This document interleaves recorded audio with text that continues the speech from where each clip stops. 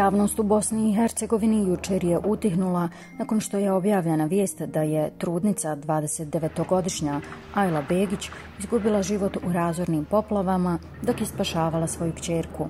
Ajla je hrabro uspjela spasti svoju djevojčicu Dalal, ali je nažalost sama izgubila život.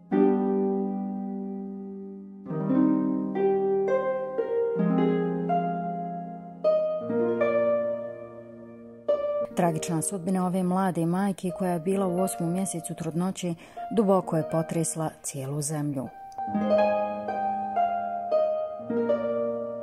Belma Alice Pahić Skuljić zajedno sa Senadom Skuljićem objavila je danas emotivnu fotografiju s Malenom Dalal i tom prilikom napisala U Jablanici smo kod Dine Begića kojem je supruga nastradala u osmom mjesecu trudnoće.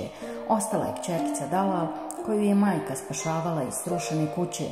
Spasila je Dalal, ali ona se s bebicom u stomaku vratila Allahu. Dino i Dalal su kod Dinine tetke. Treći dan od nesreće još im niko nije otvorio vrata. Iz kuće su izašli goli i bosi.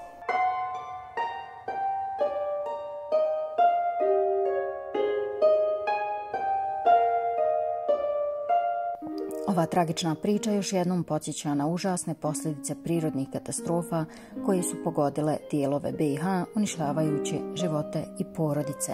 Cijelo jedno mjesto nestalo je pod silinom prirodne katastrofe koja je donijela razaranje u noći koja je na izgled bila kao svaka druga, mirna i bezbrižna.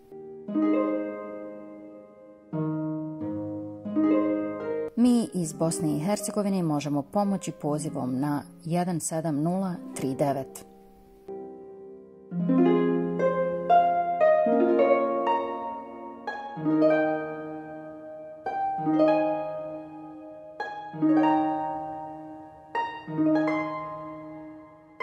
Thank